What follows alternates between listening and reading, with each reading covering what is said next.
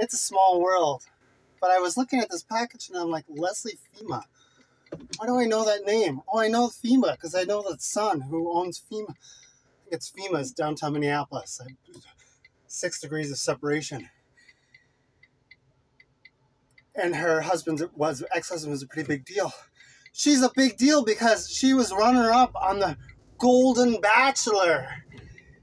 So I was able to talk to her, not see her. And I'm like, you dodged a bullet because the Golden Bachelor is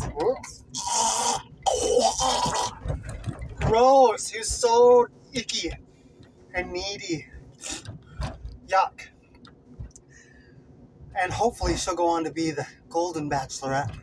But how exciting is that? Oh wow, I kind of met a celebrity, but not really, but kind of, and not really kind of talked to her.